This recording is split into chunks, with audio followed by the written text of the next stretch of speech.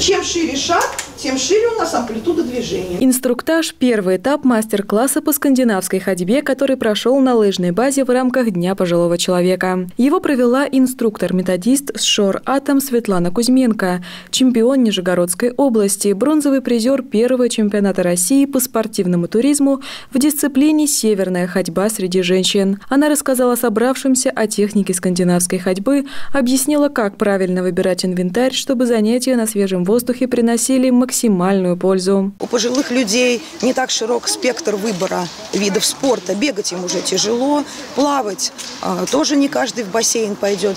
А здесь очень замечательно. Все проходит на природе, а, в приятной обстановке, в компании единомышленников.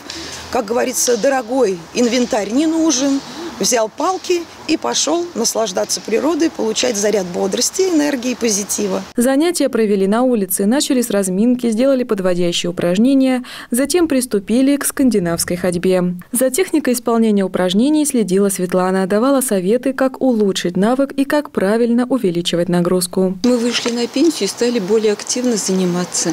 Э, катаемся на лыжах, зимой велосипеды. Э, когда вот приглашают на скандинавскую ходьбу, как бы я сначала думала, что это сложновато, а потом поняла, что это практически те же самые лыжи.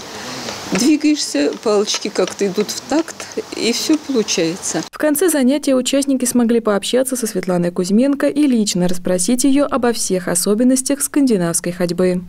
Анна Перепец, Евгений Шикарев, Сергей Рябов. Служба новостей Саров, 24.